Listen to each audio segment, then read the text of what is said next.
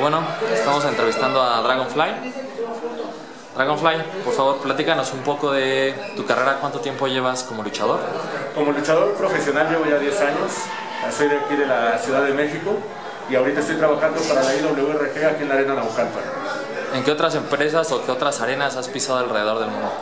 Estuve en empresas, eh, viví un tiempo en Cancún, estuve con ese PW en Cancún, después estuve en lo que fue NWA México con Blue Demon, cuando él era el presidente aquí en México, y estuve también en Perros del Mal y más fuerte en IWRG, y acabo de regresar de Japón de una gira con, con lo que fue Dragon Gate, tuve unas pruebas, un tryout y algunas cuchillas por ahí.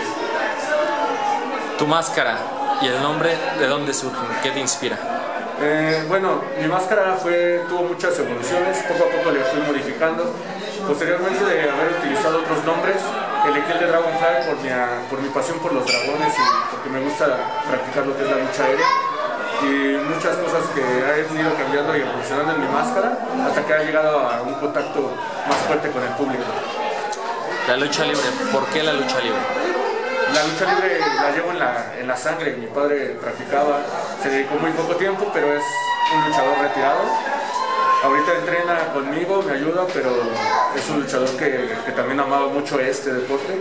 Y después, pues yo de practicar muchos deportes desde niño, fui un niño muy hiperactivo, decidí la lucha libre porque me atrapó. La primera vez que pisé la arena San Juan Pantitlán, que fue donde debuté, el público y la lucha libre me, me llenaron por completo y ahora es mi vida. La máscara que traes puesta, ¿dónde la has usado? Esta máscara me la llevé a Japón. Estuvo por allá, estuvo en, en arenas de aquí, de lo que es el distrito y del Estado de México. Y más que nada aquí en la arena Naucalpan, con esta gané un campeonato, lo defendí contra un argentino, que fue el Tigre Alfajor. Soy el campeón del catch argentino. Y, y ahorita este, también esta máscara que tengo aquí en la mano fue la que utilicé en Japón, en lo que fue Dragon Gate. Allá me recibió Sima, que es el presidente de, de la empresa, y esta, esta está luchada ahí en Japón. Ahorita he tenido varios, varios compromisos con estas máscaras aquí en IWRG también. Para tu carrera, ¿qué sigue? ¿Qué metas tienes en tu pues tengo ahorita muchas metas, este, principalmente aquí quiero, después de haber ganado la máscara del demonio infernal, quiero conseguir más, más máscaras, cabelleras y otros títulos. Eh, estoy muy fuerte contra un luchador argentino que se llama La Mosca. Él se llevó el, campeón de peso, el campeonato de peso welter. Tuve una oportunidad, pero me ganaron con trampa, no pude recuperarlo.